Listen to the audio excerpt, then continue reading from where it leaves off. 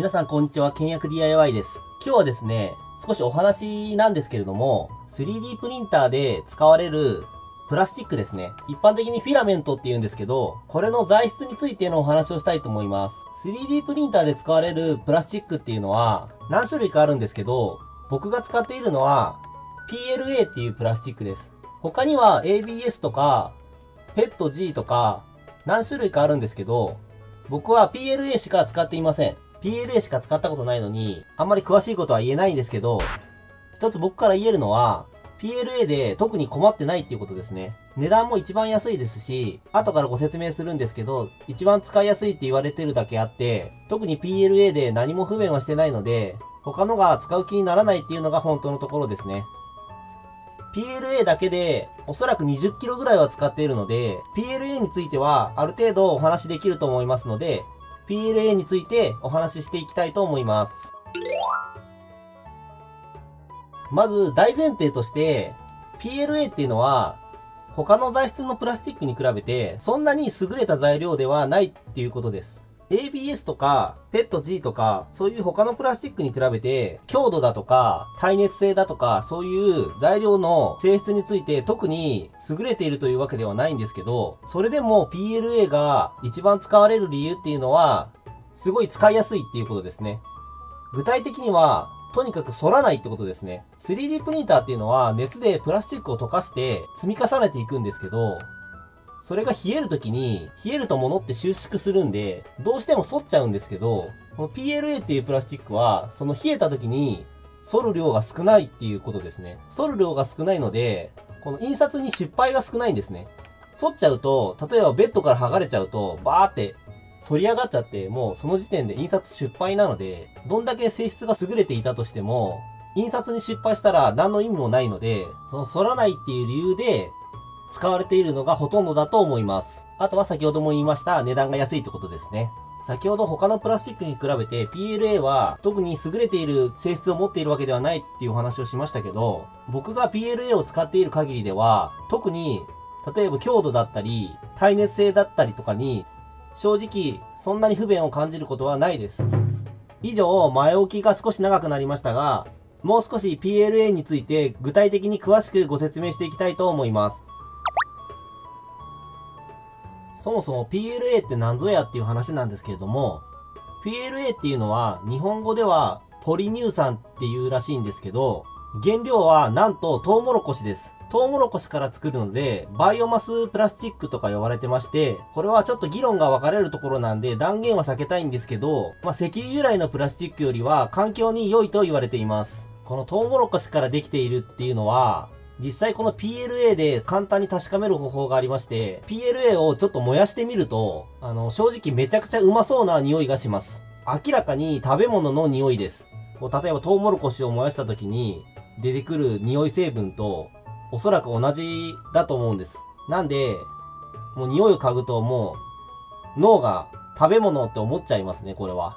実際は食べられないんですけど、まあそういった観点から言っても、生態との相性が結構いいんじゃないかなと思います。以前の動画で歯ブラシを作ったことがあるんですけど、まあその時も、まあ、口に入れてもわずかに風味がある気がします。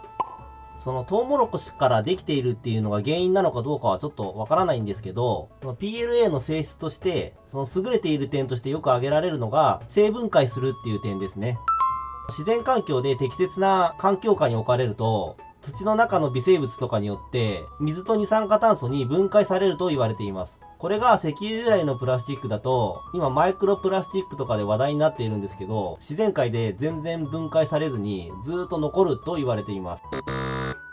その点 PLA は自然に帰ることができるので環境に優しいと呼ばれています。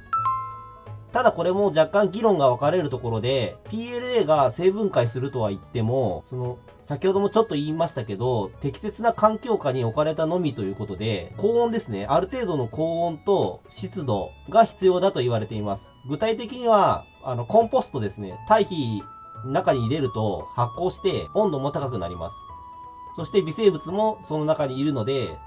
その生分解するっていうのは理想的な環境だと思うんですけど、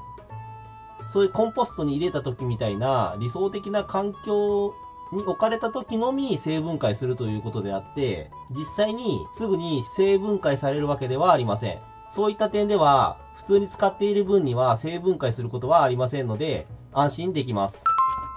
まあ、感覚として、それでも耐久性は低いんじゃないかっていう気がするんですけど、実際は結構耐久性はあります。具体的には、実際に僕が作った部品の中で、屋外で2年近く放置しているものがあるんですけど、2年ぐらい外にあっても、そんなに目に見えて劣化しているっていうわけではありません。プラスチックの中には2年ぐらい屋外で放置していると、紫外線なのかわからないんですけど、すぐボロボロになってしまって使い物にならないものが結構あると思うんですけど、PLA は意外とそういう対抗性っていうのはあって、屋外に置いておいても、そんなにすぐに悪くはなりません。水にも強くて、長時間水浸しになっても特に問題はありませんでした。ちょっと水つながりで余談なんですけど、この PLA っていうのは吸水性があると言われていて、このフィラメントの状態でも、今はこうやって空気が入らないようにパックされてますけど、一回開けてしまうと空気中の湿気を吸収して脆くなると言われています。それを気にしてか、フィラメントを湿度対策しなければいけないと言われている場合もあるんですけど、正直僕の経験上、何もしなくても問題になったことがないので、本当にそんな対策が必要なのか、いまいちピンとこないのが本当のところです。これまで PLA は問題ないということばかりお話ししてきましたけれども、もちろん PLA にも問題点はあって、最大の問題点は耐熱性が低いことだと思います。だいたい60度ぐらいで柔らかくなり始めて強度がほとんどなくなってしまいます。60度っていうと普通の環境下ではなかなかならないですけど、例えば熱湯を入れたりすることは絶対できないですし、すり合わせて摩擦熱が発生して、それだけで柔らかくなってしまったり、真夏の炎天下の車内とかで置いておくと60度ぐらいになってしまうので、思わぬ変形をしたりしてしまうことがあります。実はアニーリング処理といって110度のオーブンに20分ぐらい入れておくと耐熱性がアップするっていう技があるんですけど実際にやってみたこともあるんですけど確かに耐熱性はアップすると思うんですけどその反面、脆くなるっていうデメリットがあって、僕の場合は目に見えて、脆くなってしまって強度が下がったと感じたので、ほとんどアニーリング処理をしたことはありません。PLA は耐熱性が低いっていう欠点はあるんですけど、実際使う上では、まあ、耐熱性が低いってことを理解していれば、設計で十分カバーできる範囲だと思うんで、個人的にはそこまでの欠点だとは思っていません。あと、PLA は硬くて加工がやりにくいって書いてあるところも多いと思うんですけど、その硬いというのはあくまでプラスチックの中ではの話で、まあ所詮はプラスチックなんで、ヤスリとかは全然かかりますし、これについてはほとんど問題にはならないと思っています。これまでいろいろお話ししてきましたけど、結局は PLA 問題ないよってお話になってしまいました。正直 PLA さえ使っとけばほとんど問題ないんじゃないかなっていうのが個人的な思いです。